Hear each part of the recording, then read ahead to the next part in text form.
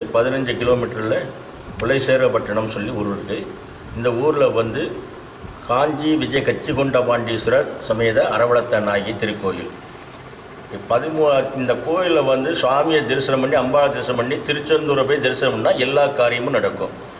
இந்த இடத்துல வந்து சுவாமி வந்து சுயம்புலிங்கமாக இருக்கார்.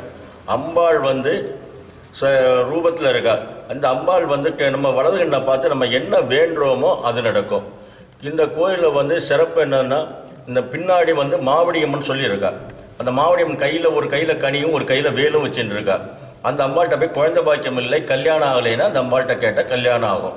அது இந்த சுவாமியை வந்து பாலி பூஜை பண்ணியிருக்கார் மிருகண்ட முனிவர் பூஜை பண்ணியிருக்கார் பதஞ்சலி முனிவர் பூஜை பண்ணியிருக்கார்.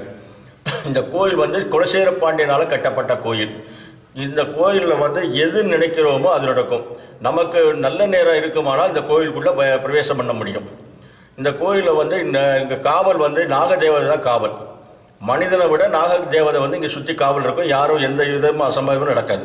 இந்த கோயிலில் வந்து ரொம்ப பயபக்தியோடு இந்த சுவாமியை கும்பிட்டானா அவளுக்கு அந்த காரியங்கள் நடக்கும். நவக்கிரகத்தில் வந்து எல்லா இடத்துலையும் ஒன்பதாக இருக்கும். இங்கே பதினொன்றா இருக்கும். இங்கே ராஜதர்பார் நவக்கிரகம் சொல்லி சூரியன் பக்கத்தில் இரு மனைவிமார்கள் இருப்பார்கள். அந்த சாயாதேவி சம்காதேவி சமேத சூரியன் சனி பகவானுடைய தாயின் தகப்பனும் இருக்கக்கூடிய ஒரே இடம் குலசேரம் பட்டினம் தான்.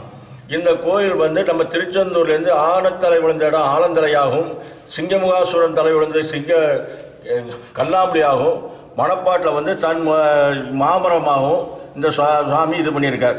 அங்கே இன்னமும் இந்த மணப்பாட்டில் வந்து ஊத்து இருக்கும். நாளிக்கடல் நடக்க அங்கே ஒரு ஊத்து இருக்கும். அந்த ஊத்தில் வந்து ஒரு எலுமிச்சம்பது விட கடலுக்கு வரும். அந்த இடம் வந்து திருச்செந்தூரை சேர்ந்த இடங்கள் தான்.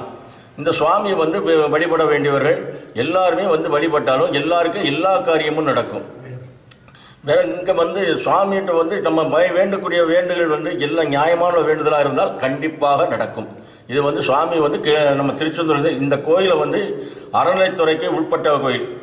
இந்த கோயில் வந்து ஆயிரத்தி தொள்ளாயிரத்தி அறுபத்தி நாலில் கேவிஎஸ் சுப்பியாபிள்ளையால் இந்த கோயில் வந்து தேவஸ்தானத்தோடு சேர்க்கப்பட்டது. ஆமாம் இது இந்த பைரவர் வந்து இங்கே கால பைரவர். இந்த பைரவரை வந்து நமக்கு சுவாமி தரிசனம் பண்ணினோம்னால் விளக்கு ஏற்றி நம்ம கும்பிட்டோம்னா சத்துரு உபாதைகள் நிவர்த்தியாகும். வே வேலைகள் கிடைக்காதவர்களுக்கு வேலைகள் இங்கே அந்த சுவாமியை பார்த்து வே நம்ம வேண்டுமானா வே வேண்டுதல் படி எல்லாமே நடக்கும். இந்த கோயிலில் வந்து பிரதோஷம் வந்து நடக்கும். ஆனால் சுவாமிக்கு வந்து பஞ்சமுகத்தில் தீபாரணை ஆகும் நேராக அதுக்கு அடுத்தால் நந்திக்கு மு- முன்பாகமும் பின்பாகமும் தீபாரணை ஆகும் இது விசேஷமாக இருக்கும். மிச்ச கோயிலில் பூரா அது கிடையாது. அம்பாள் வந்து காஞ்சிபுரத்துலேருந்து இங்கே வந்து உட்காந்து தான் ஐதீகம். இந்த அம்பாள் வந்து ஒரு முறைக்கா நெல்லை கொடுத்து தர்மத்தை வளர்க்குறா.